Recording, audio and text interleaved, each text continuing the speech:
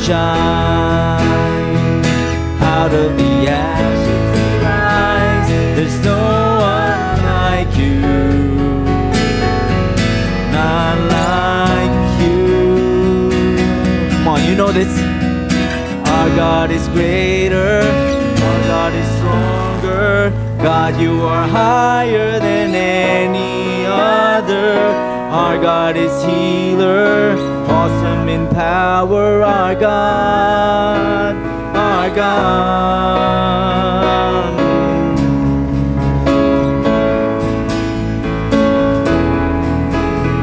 He is the light of the world. And in the darkness, the light of the world will shine. Let's sing that part. Into the darkness you shine.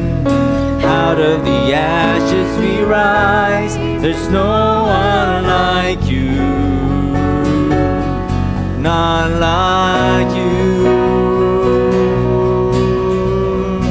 Our God is greater, our God is stronger. God, you are higher than any other. Our God is healer,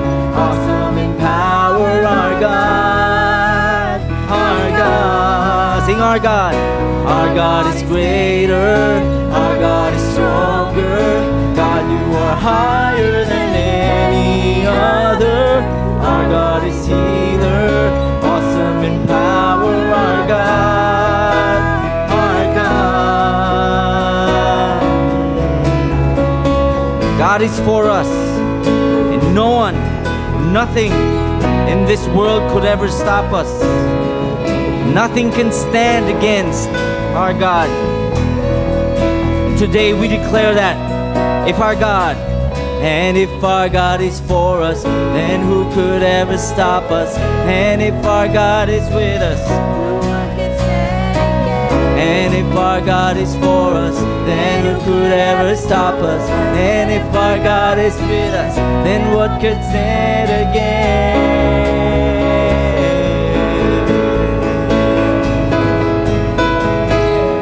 Our God. Our God is greater, our God is stronger. God, you are higher than any other. Our God is healer, awesome in power. Our God, our God. For the last time, our God is greater, our God is stronger. God, you are higher than any other. Our God is healer, awesome in power. Our God, our God. Amen. Let's give God a clap offering. Lord, we praise you because you are the King of all kings, the God of all gods, the Lord of lords. And Lord, we stand before your throne today asking for forgiveness, Lord, for our sins. If there's anything, Lord, that is blocking even uh, our way to you today, Lord, we, we confess our sins before you, asking for forgiveness, Lord. Lord, thank you for making us righteous through your Son, Jesus Christ. And today, Lord, we want to we want to give honor to you. We want to to to see you, oh God. We ask that you open our eyes, Lord, so that we can see you, that we will be in awe of you and not lose our joy in, in seeing you, in serving you, in worshiping you, oh God. For no one else is like you, the Bible declares, and no one else is God. So today, Lord, we are your servants, and you are our King. And that's what we want. That's what we, we want to glorify you and exalt your name above all. Let's worship him.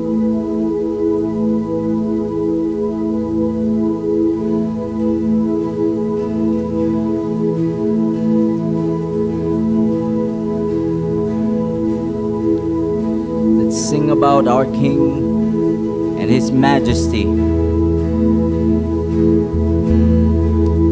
May have heard this during Christmas, and here we are singing it to worship our King.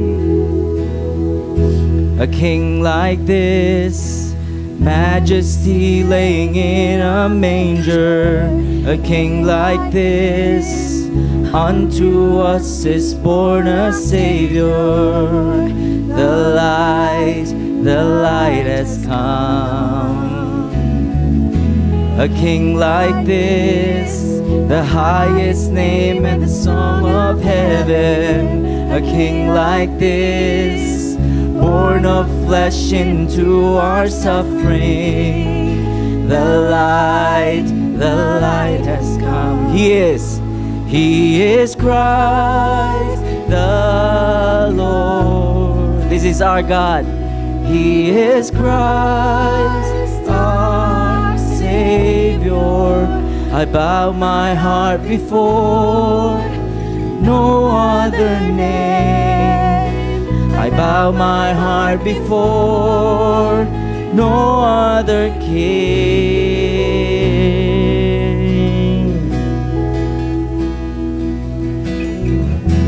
A king like this, a saving love that would not forsake us, betrayed by a kiss and led to the cross for our forgiveness.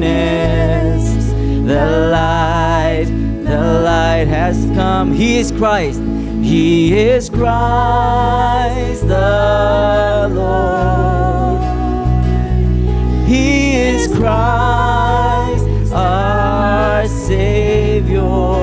I bow my heart before no other name. I bow my heart before no other king.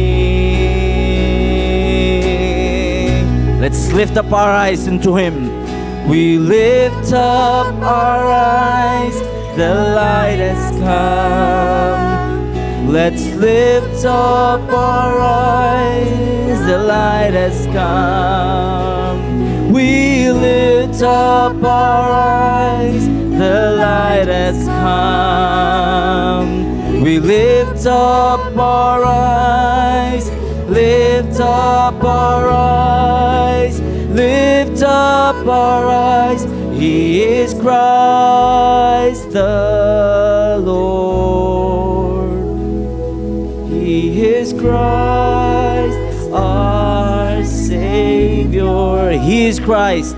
He is Christ the Lord.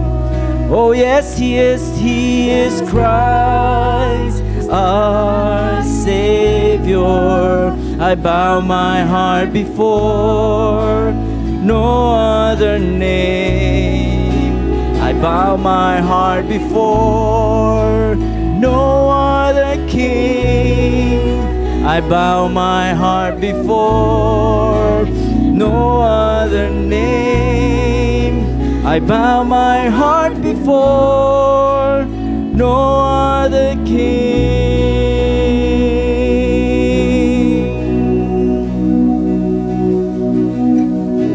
A king like this, a throne of grace that will stand forever. The angels sing, Glory, glory, hallelujah. The light, the light has come. The light, the light has come. He is Christ the Lord.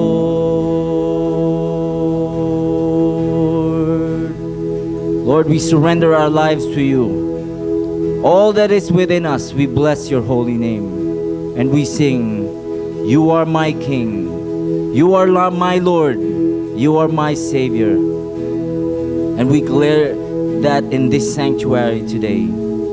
Thank you, O Lord. Let's sing, You are my King. You are my King. Come on. You are my King, Jesus. You are my King. You are my King.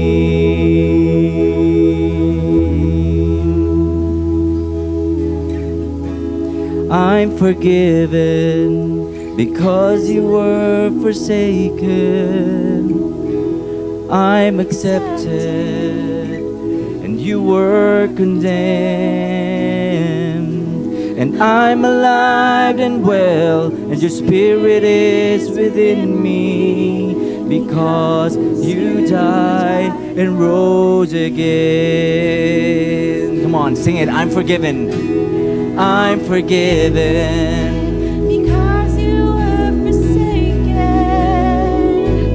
I'm accepted. You were condemned. I'm alive and well. Your spirit is within me. Because you died and rose again. We serve a living King. Amazing love, how can it be that you, my King, would die for me? Amazing love. I know it's true, and it's my joy to honor you in all I do. I honor you. Let's sing of His amazing love. Amazing love, how can it be? My King, would die for me. Amazing love, I know it's true. It's my joy to honor you in all I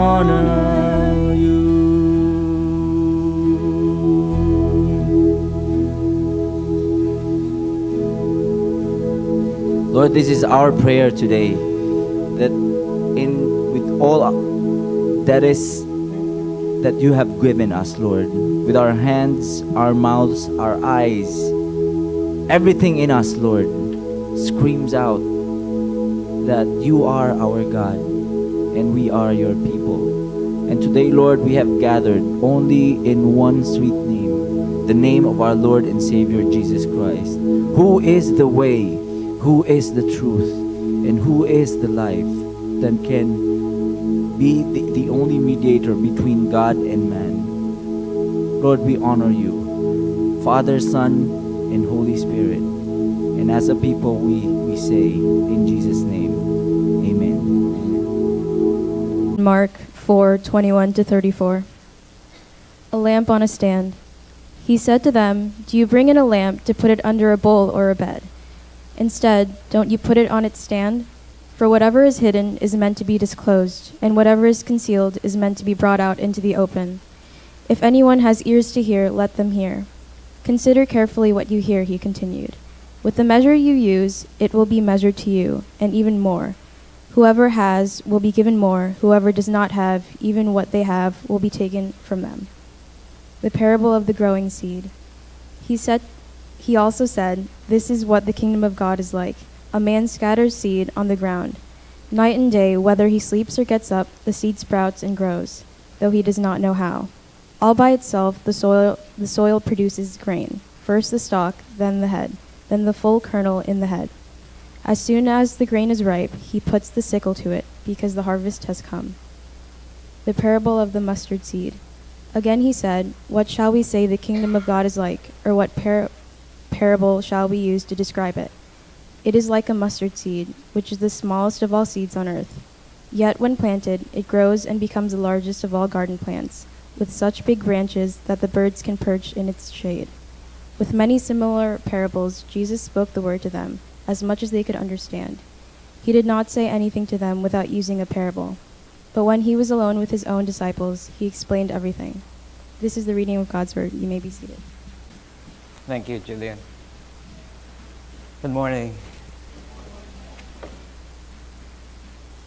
Which word is repeated in this uh, passage that you kept hearing?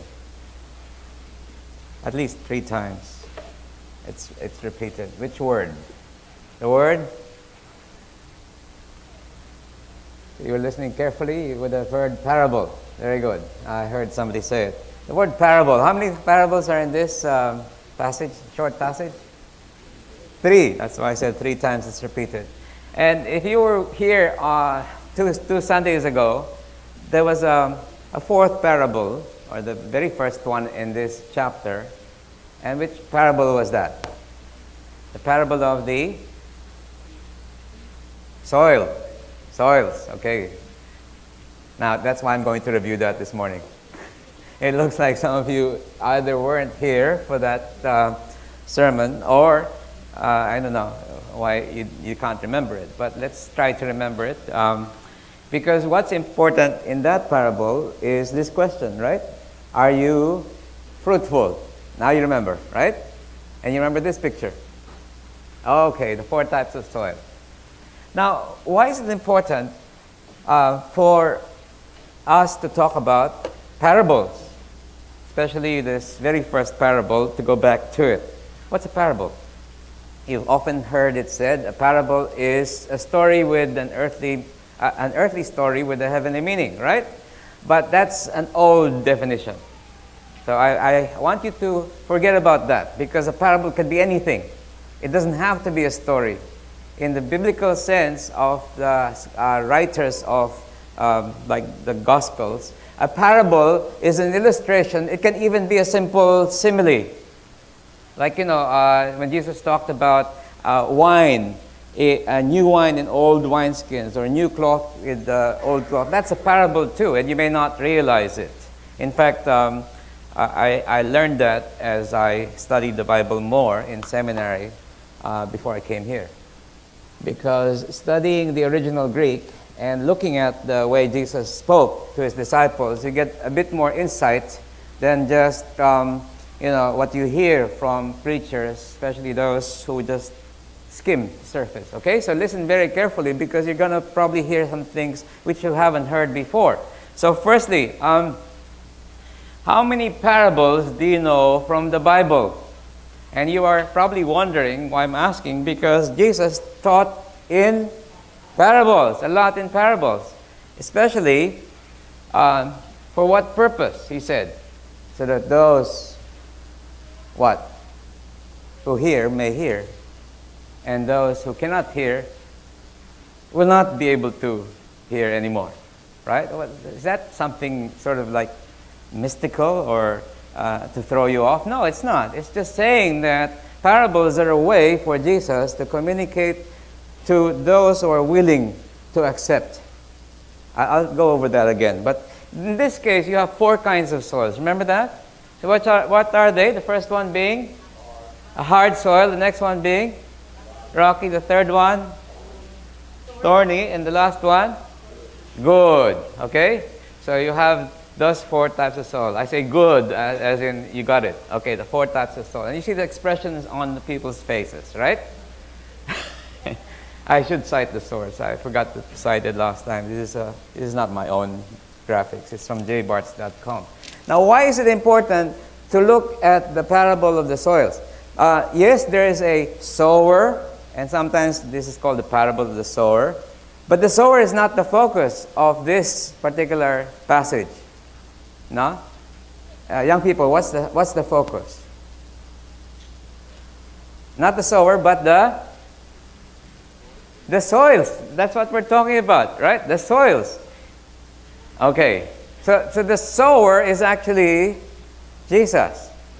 So the focus is not Jesus. Wait, wait a minute, no, Pastor, you're making a big mistake. When you, when you preach, you should focus on Jesus. Yes, I am going to, but Jesus is the sower, and so is everyone who preaches the gospel. Do you follow? You're the sower. When you share with your classmates the Word of God, and you share Jesus with them classmates, roommates, whoever you meet in your life. The sower is important, yes. But what's being discussed here is the soil. What about the seed? So the sower sows the seed. Is the seed the focus of this passage? No. What is the seed? The seed is the the Word of God, the Gospel. Okay? Follow? Now, uh, you can al- always pick from stories what things represent, but sometimes you have to be very careful. You just don't focus on the things that they represent. You have to focus on the overall theme of the passage. So when you study a Bible verse or Bible verses, you have to consider what is the intent or purpose of the writer. The writer is Mark, and his purpose is to remember what I told you at the very beginning? What is the key verse in Mark 10? Jesus came not to be served, but to serve and to give his life a ransom for many. Mark 10 45. Focus on that. That is the gospel message. Jesus came not to be served, but to serve and to give his life a ransom for many. The Gospel of Mark. But in the process of presenting that key verse, he talks about how you can become a follower of Christ and how he makes disciples, how he um, applies the use of parables in making disciples. Do you follow?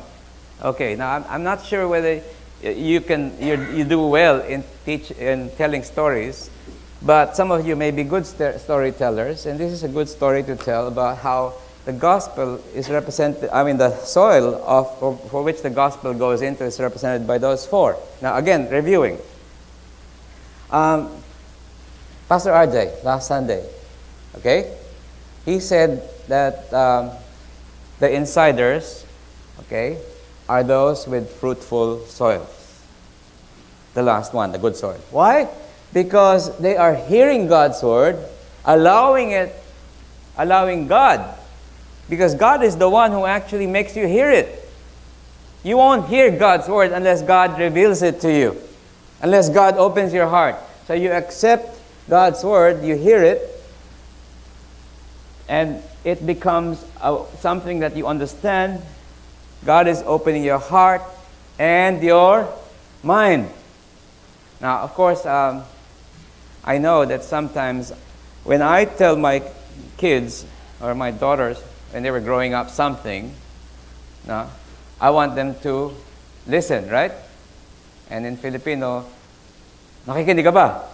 Well, we always hear that. I can still hear my mother telling me that. No? Uh, some of you parents actually use that to make sure that uh, young people, are you listening? No? I, I, I always uh, try that uh, trick because I, then they, they think of me as a parent telling them to listen, right? But no, there's no trickery here. It's just a matter of are you listening and accepting what I'm trying to say? Instead of probably looking at something else which um, distracts you. So, what does, what does the Word of God do? The Word of God actually should transform your life. What's wrong with the, um, the four soils? Let's, let's look at it. Okay, so I went over this. The soils, the three soils, there's something wrong with them, right? The fourth soil is the good soil. And I said already, uh, the emphasis is not the sower, which is Jesus, the proclaimer of the gospel, not the seed, which is the salvation gospel, but the kinds of soil. Now listen to this. The hard soil. What happens to the hard soil? It's resistant. The word of God comes, and immediately it's brushed aside. And I told you none of you probably belong to that category because you're here and you're listening and you've been coming, especially after a big day yesterday. No? I was thinking, oh, I wonder who are going to come back today, seeing that we had such a big day. And uh, I, I, had a conversation with somebody just a while ago saying, uh, in, in our culture, many cultures perhaps, since you came to church already, why would I have to go back to church the next day? Right? As if the church is um, something that is just something you tick off your li- list. Or it's just a place. I've been there, done that, bye. I'm not going back there, right? Not this week at least. But I think you are not of the resistant kind of soil. Why? Because the resistant soil, it says here, um, is the soil that actually uh, the word that's used is uh, roadway. Roadway. So, by the path. Um, the way they sow the soil, I told you already last time, is that they till the soil first and they scatter the seeds, right? But some of them actually do the, the opposite. They uh, put the seeds out and then they till it, right? Uh, either way, the seed ends up either in the path where people cross and therefore it cannot uh, take root, all right? It cannot take root. Um, the second soil, superficial. It's the rocky soil. It ends up um, on the soil that is what? That is not able to germinate the seed. I'm looking at the verse. They hear the word, they immediately receive it with joy. So it's emotional response. It's something that has to do with um, not taking into account what they are actually in for. So when you hear the gospel, it's usually presented to you as okay, you're a sinner, repent, believe in the Lord Jesus Christ, and you will have eternal life. So you're happy, you know? Who isn't? I want that. I want to live forever. I don't want to die and stay in the soil. I want to experience eternal life. However, they did not count the costs. They, or those people who were planted in rocky soil, very little soil, the, suited, the, um, the seed did not germinate. Why? Because it is superficial. I'm just in it for something. But when the demands of discipleship, the cost of discipleship, what does it cost? Well, you have to give up everything. That's what repentance is, right? And if you don't give up everything and you say, wait, I'll take the eternal life, but I'll still have what I used to do, that is not true repentance. True repentance is, I'm sorry, Lord, I'm a sinner, but I'm willing for you to change me from what I used to be to what you want me to be. Do you follow that? Uh, and most people think of this as just uh, like if you if you drank, uh, you're a drunkard before, you won't drink anymore, right? You won't be a drunkard if you're um, whatever uh, things you've done before. But that is still on the level of superficiality because it's just outward appearances, but the heart has not been changed, perhaps. You still desire things that are not so obvious. What are these sins that are not so obvious? Sins that are acceptable to other people, perhaps. Um, let's take one. Let's take a very common one, which is gossip. Is gossip a sin? Of course, definitely. It's listed among the sins in Romans 1. And you say, wait a minute, it's not too bad. I didn't hurt anybody. Are you sure? No? That when you gossip about someone, when you slander someone, is that really not sin? Is that not really hurting somebody? But the point is this your heart hasn't been changed. Yes, I don't do the blatant sins. I don't commit adultery. I don't um, practice uh, spiritist uh, religion, but I'm still at heart, I want to do my own thing. Whatever gives me satisfaction. Is gluttony a sin? I'm sure that didn't happen yesterday. But the point is that when you, you know, like want everything in life for fear of missing out, hashtag FOMO, remember that in Instagram I said, you know, you want the whole of life the experiences it will give you. And then your spiritual growth is stunted because you are not taking root. Um, then, thirdly, thorny, distracted. Now, you know, it's interesting when I was reading this and I looked up the word, verse 17, right? When persecutions ar- arise, affliction or persecution arise because of the word, because of the word, immediately they fall away. The word used for falling away is the word scandal. Scandalous. Remember that old song in the 60s? Woe is me. Shame and scandal in the family. How many of you old people remember that song? Okay. Uh, scandal. Why is it scandal? The, the word scandal in, in Greek is scan, scandalous, which means it created an offense. It's created an offense. So if somebody does something in, in, in society that puts to shame the family's reputation, you know, then that's scandalous, right? But it's more than just that. One who is easily offended,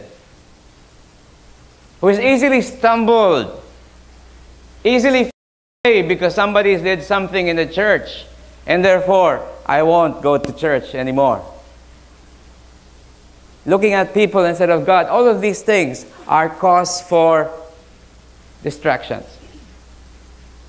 And I can tell you, we have had quite a few of those in this church.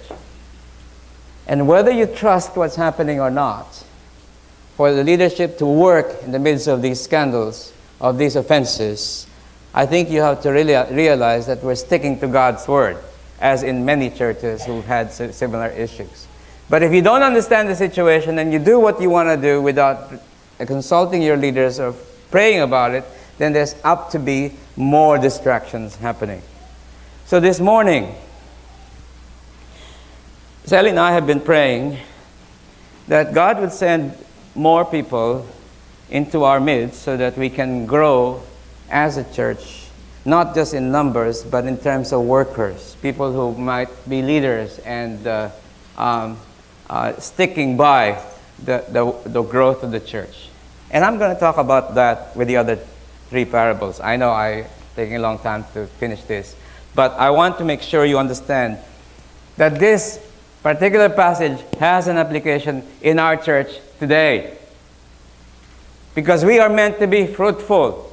And that being fruitful has to do with the great expectation that God is going to do in our midst. Amen? So if you are following what's happening in our church, you will realize that God is sending new believers into our midst. Do you see that? And we are really grateful to God because God is making His, His Word known not through our selfish efforts or just because we're good, but because God is good and God is in control. You see, being fruitful has the following characteristics. I, am sorry I got this back to front, but it's very simple. Being fruitful by grace, QBC is and will be growing together in spite of the obstacles. Do you agree? I, I know there have been some of you who have been dejected and sort of like walking around defeated. But Christ is victorious according to uh, Pastor RJ last Sunday, isn't it? I remember those words he said. Christ will be victorious in the midst of divisiveness, of disunity, not just within our church, but also within your families, your marriages, and within yourself. Because Christ has come to unite. And this fruitfulness is found in Galatians 5 22 and 23 to 33 to 23. This fruitfulness has to do with love, joy, peace, patience, kindness, all of those forming one fruit. And in fact, when I told you about the fruit illustration, and I'm just going to go through it. Oh, I erased it. You know how in, in a banana, in the, all those peeling or those things that go out, that's the whole fruit. So you could say, I want the fruit of the banana, and it brings you the whole you know, uh, buig, buig, no, it's in Filipino buig. I don't know what it is in English. Bunch.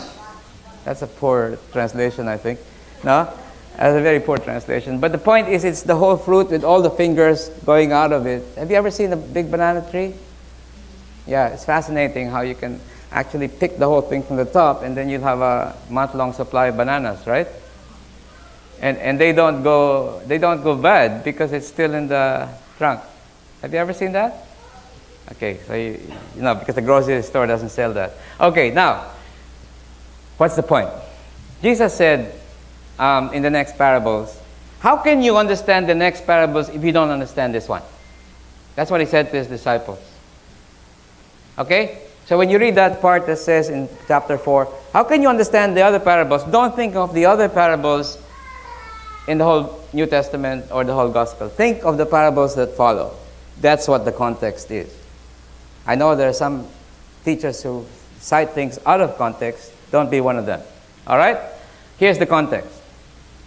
The first parable after that big one is let your light shine. I remember my daughter when she was small, she, she, she used to sing, This little light of mine, I'm gonna make it shine. Right? Remember that? It's a very famous song, and I'm sure I sang it in Sunday school. But what's the point? The parable says no one lights a lamp or a candle and what? Covers it or hides it in a bowl. Now you wonder, what's this talking about? Because in those days, um, you know, to get light is not easy, right? What do they use? They use a, a lamp with oil in it. I have one, but I forgot to bring it. Uh, it's, I was going to show it to you, but I have a picture of it. Okay? You see this? A lamp, like Aladdin's lamp, you know, rubbing it. But it's smaller than that. This is just so you can see it, this picture. Okay, look. A lamp. Question. Do they have matches then? How do they light the lamp? I'm not going to answer all these scientific things. And how do they keep it lighted? Well, let me just tell you, the emphasis is that if you're not using the light and you want to sleep, what? You cover it, right? And so that when you are able to, um, you know, like you get up in the middle of the night, you have to go to the toilet. Did they, did they do that back then? I'm, I'm sure they did, right? I'm sure they did. So they have to uncover it so they don't have. Where's that, where's that thing I write it with? So I'm just dealing with trivialities, but it has a, it has a point, right? You don't cover it when you want light to be shown, to be used, correct? All right, now, in other parts of the Bible, this is also mentioned. In Matthew, it says, Let your light shine so that men will see your good works and glorify your Father which is in heaven. Right? Remember that? Then there is another one that says, uh, A city set on a hill, right, gives light to the surroundings. Why? Because if you are lost or you're wanting to go to a certain place at night, the city will have a lot of lights on, isn't it? And you can certainly find it in the midst of darkness. What's the point? Jesus is saying here, and this continues the theme of the Word of God being preached. Okay? It continues on that. And the main theme is the kingdom of God the kingdom of God. So, who is in the kingdom of God? Those who are insiders, those who are accepting of God's word, being transformed in their lives, being fruitful, are the insiders who belong to the kingdom of God. Interestingly, last Sunday when we had our baptism, I, I heard this story, and I hope they won't mind me telling it. Um, uh, after the baptism, Levi came to RJ, uh, Pastor RJ, and asked him, Am I an insider now? All right? Because he's been baptized. Right? And uh, Pastor RJ, what do you think? I think your answer, no? Or you are, because you are um, now accepting God's word, believing in it, and, be, and will be transformed. Correct?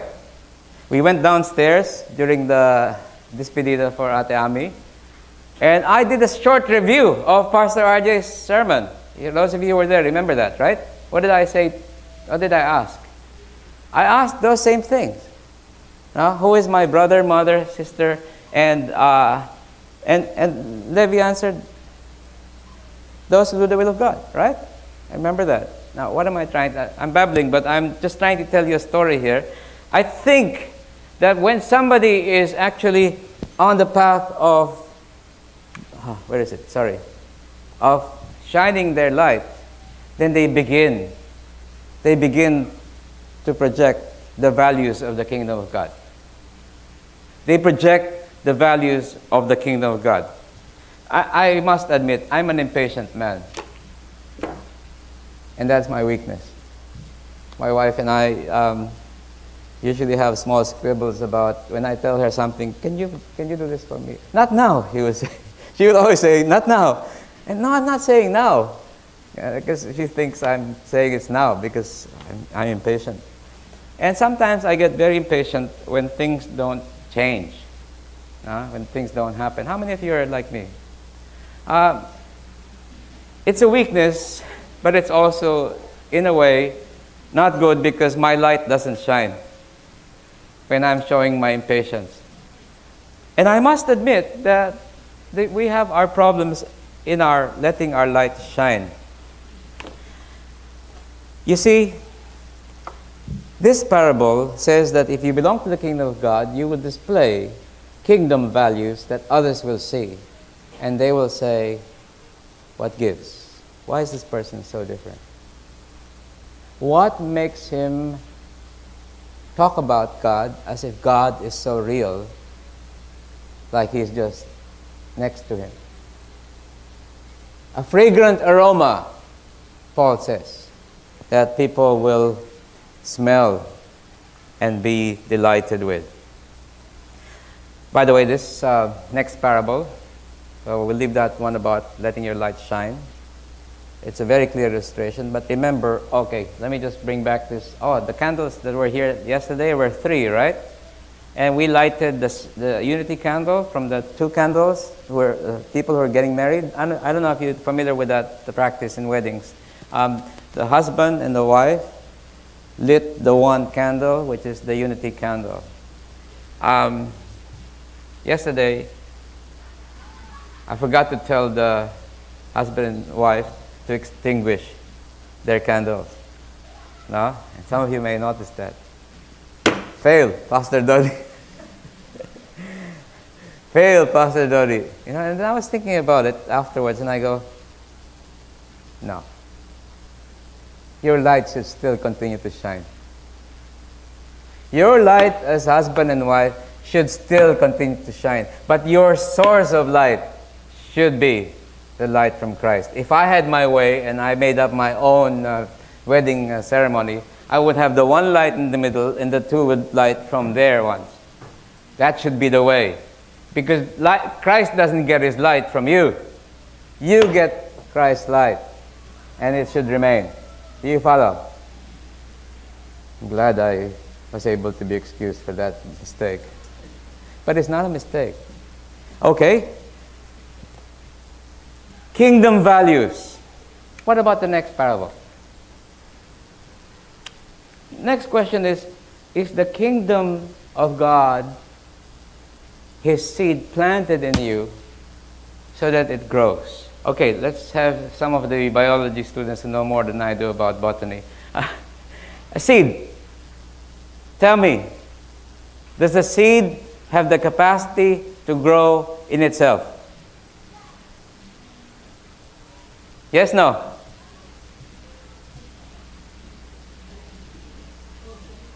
Yes, no?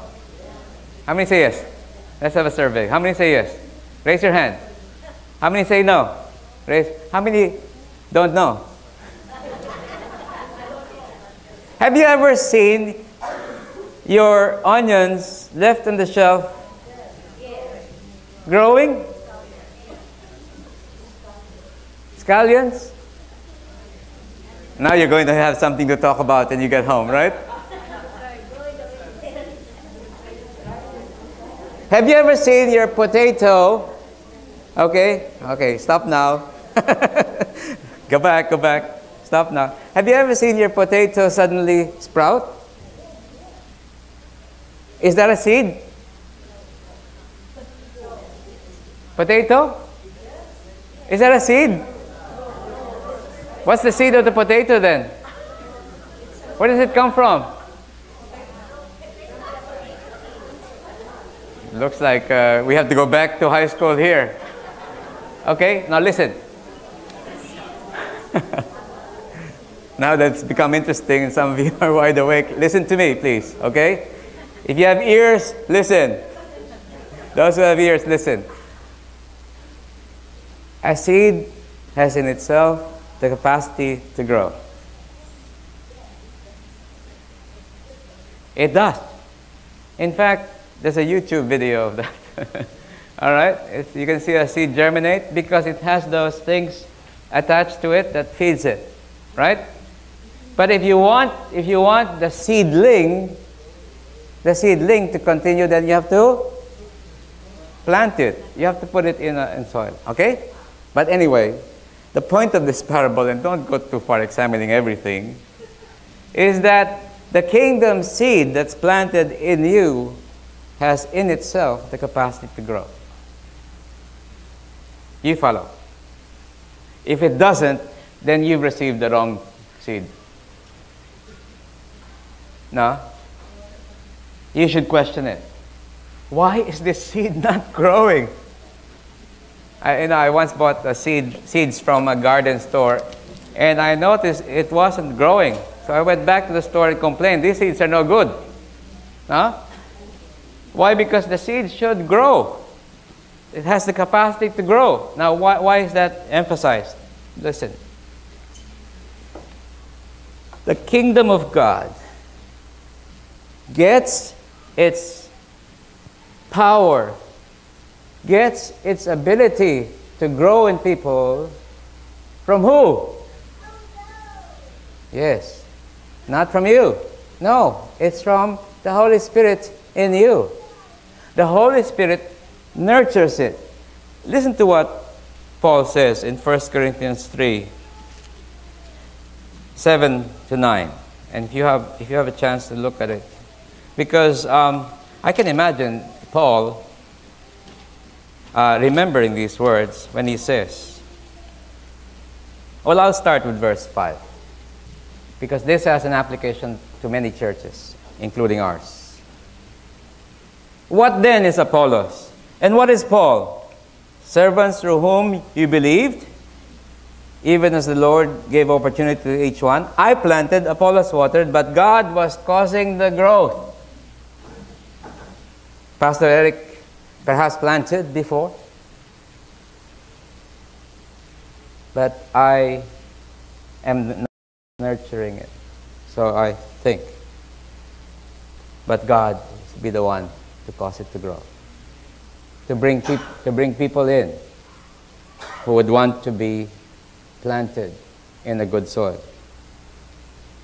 Now look at this. Listen to this next verses. So, that, so then, neither the one who plants nor the one who waters is anything. Is anything. I am nothing. And so is Pastor Eric. Some of you might uh, stone me again after this sermon because I'm saying this, but I'm saying God's word, not me. Neither is the one who plants or the one who waters is anything but God. The word but. God causes the growth. And people can criticize pastors and say, that pastor or that pastor, he's a better preacher, he's a better caregiver, he's whatever. No. Focus on God. Because the seed has the capacity to grow.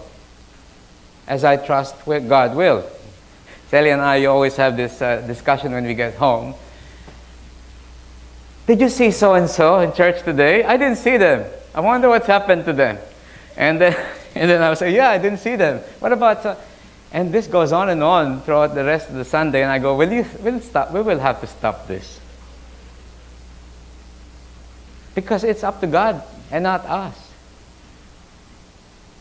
to cause the seed to grow. Somebody asked me this morning um, this same question. I didn't see so and so. I haven't seen him for so long. And I just answered, uh, well, that person has some personal things going on. Whether I tell you what it is or not, you have to trust me that that is something that God is doing in his life. Or if somebody leaves and then you see your pastor the next day and you say, What happened to that person, pastor, was there anything that caused him to leave that uh, perhaps somebody did? And I go, pray in my closet. Because God makes the seed grow, especially with our young people here. I wonder why it's only here in Mark that this is actually and not in the other Gospels. I wonder that too, because Mark is focused on the kingdom of God. And I'll tell you a story later that will probably uh, point that out to you. Um, the next one, and the final one. Are, you, are your small beginnings growing? Are your small beginnings growing? You know the saying, from small beginnings comes great things. Right? From small beginning comes great things. Small beginnings in you, the kingdom of God grows. And this is compared to what? A mustard seed. Have you seen a mustard seed? It's so small that if the wind blows, it's gone, right? But it grows into a, a bush, actually, that looks like a tree, 15 feet high, they say in those days. It's not the smallest of seeds, but it's what Jesus probably can, um, is using as an illustration. And the thing about this illustration is it grows from small beginnings without anyone noticing it. Oh, that, that tree wasn't there yesterday. It's like New York, you know, you, you were gone for a month and you see this building up there already. And you go, oh, that wasn't there last month. You know? It's something like that. You're amazed. You're awed. Not by the building, not the, by the plant, but the work that has been involved in making that tree grow. Why? And this is the final thing. You see, from small beginnings, you will be amazed. And I have been amazed how people keep coming in this church who are new and have stayed. Despite many obstacles, whether it be snow or distance or whatever.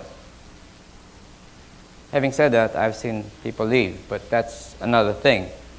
And one thing I've noticed in New York, they come and go for different reasons. And I understand, of course. Uh, our brother Anthony here and his family had to move to uh, New Jersey, Woodbridge, right? Woodbridge. And I go, but we were having so much growth in that family. Why are you taking it away, Lord? And then the Faduls before that. And Brother Eli and Sister Pam were saying, our, our, our discipleship group has shrunk, Pastor Dodie. And I go, well, who makes the growth? Who causes the growth? God will cause the growth. God will send people into your midst because you've done your part already. Now we have missionaries in Woodbridge and one in, uh, what's the name of that place? Poconos in Pennsylvania. What am I saying? I'm saying this in closing. And I'd like to read for you, to you a, very interesting story. Um, this, this was a uh, illustration of kingdom values that I found very interesting because it has to do with um, Asian culture. Okay. In Laos and Vietnam, in Laos and Vietnam, they have a border, right? And the, the border has to be taxed accordingly from which country they belong to on either side of the border. Here's the interesting thing those who ate short grain rice, short grain rice, built their houses on stilts and decorated them with Indian style serpents, they were considered Laotian. Okay? Get it now? So, short grain rice is what they ate. Their houses are on stilts, and they decorated their houses with Indian style. Let me take off my glasses. Serpents. On the other hand, those who ate long grain rice built their houses on the ground and decorated them with Chinese style dragons were considered Vietnamese. The exact location of a person's house didn't matter. So there's the border. The Laotian may be living on that side, and the Vietnamese on this side, but they may be taxed differently because they're not considered Laotians because they ate a different kind of rice. How amazing, no? Only in Vietnam and Laos. But the point is this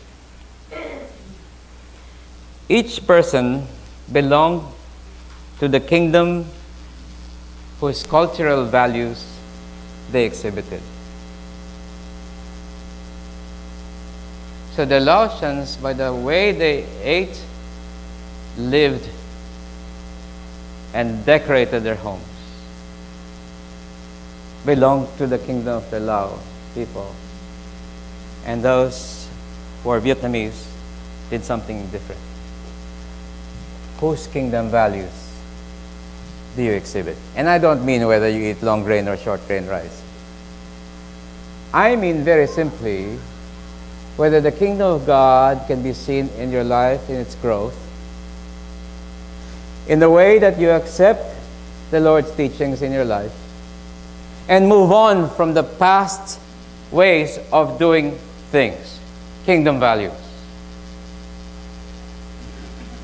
What are some typical values that we exhibit as people that we carry over into our kingdom values? Let me just name one. When somebody commits a sin,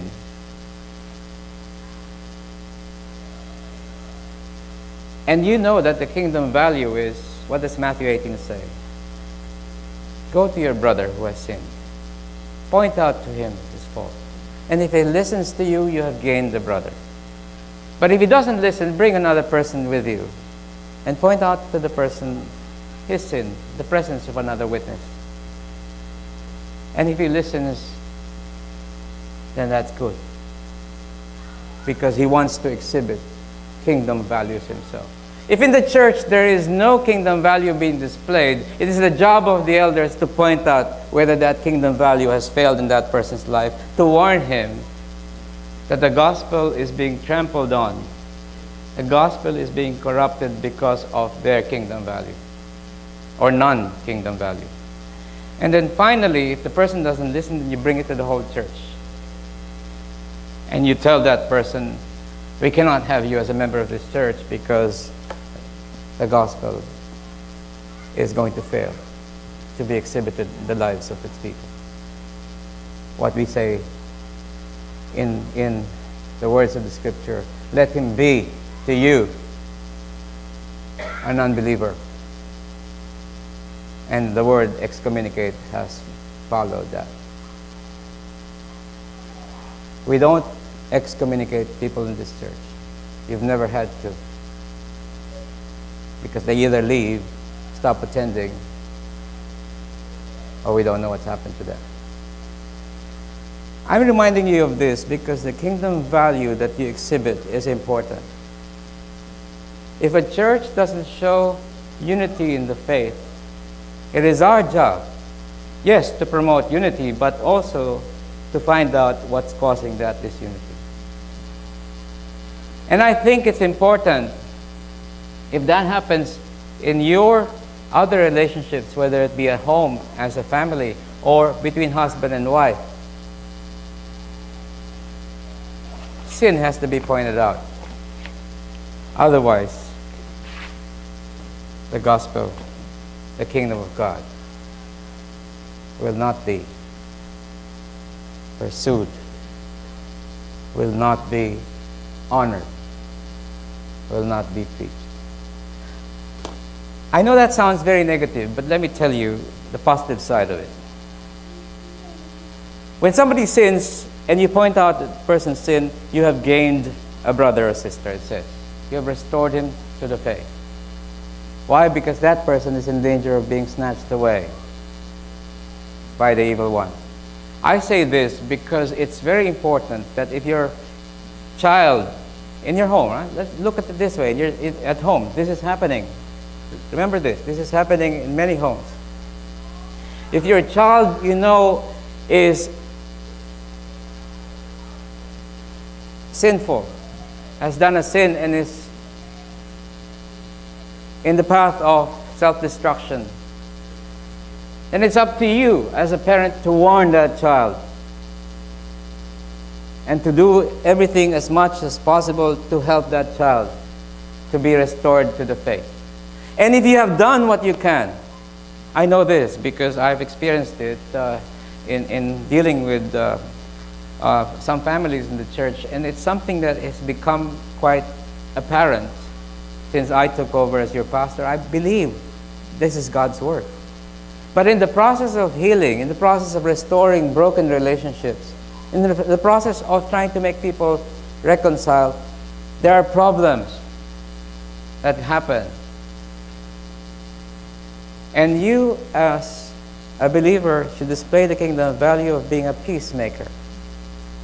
That you make things right instead of promoting the sin, instead of cuddling the sinner, instead of saying, You're okay, you've done nothing wrong. So who can we blame? I believe that God is showing us very simply this, and listen to me. I've said this before in the Bible study that we depend on God. Because God has planted a seed in you that is capable of growing. Remember that? That's the parable number two. And God is the one who makes the seed grow. Parable number three. And go back to parable number one. So that when that seed bears fruit, the light, the tree grows. What does it say? Where the birds of the air can nest. The seed grows, flourishes, bears fruit, so that the sickle is ready for harvest. I close with this, and it's my prayer as we conduct the Lord's Supper. If you're listening very intently to what I'm saying, from small beginnings come great things. This church, from what I know, from Pastor Eric, started small in a Bible study group. It grew and grew, especially when you bought this building. I don't know about what it is about buildings that attracts people. No. But buildings attract people. But let me tell you, it also attracts the wrong people.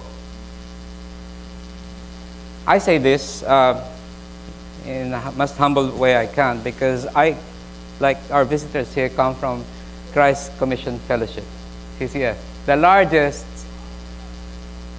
Christian denomination in the Philippines, right? Am I right? CCF. But I know that when CCF started, it was just in the garage of Pastor Peter Tanchi.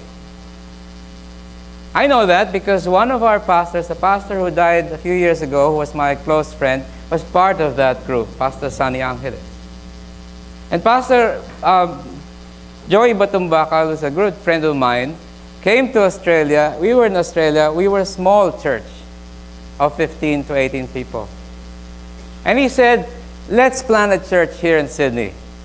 And today, there is over 100 people in CCF Sydney. Especially when we held our services in the Novotel Hotel in Sydney. You see, people will be attracted by the building, by the hotel, by the bigness of a denomination. But unless the seed that's planted in their heart is planted on good soil, because mind you, I, I know of CCFers in Sydney, CCFers in the Philippines, and, and even here, who, who don't have kingdom values. And I want to challenge you this morning. Are you adopting those Christian values? And this communion that we're going to celebrate now is a reminder of that. So please don't think that this sermon is too long because I go into a communion. Think of this as a different part of the service because this is our celebration of our kingdom value. And may I ask the elders to please come up and help me, pastors, elders, deacons.